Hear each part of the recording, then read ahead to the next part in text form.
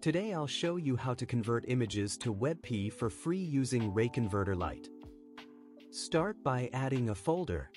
To track everything in action and make changes instantly, just click Preview. This version includes great image editing features. I'm adding a watermark to all the images.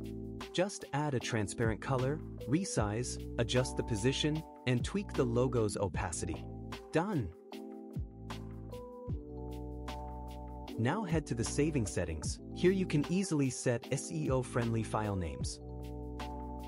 I want to convert my brand's images to WebP to speed up website and improve search rankings. Click Convert, wait a few seconds and let's check the result. The file names look exactly how I wanted. And the images have no quality loss. reaConverter worked really well, and best of all, it's free.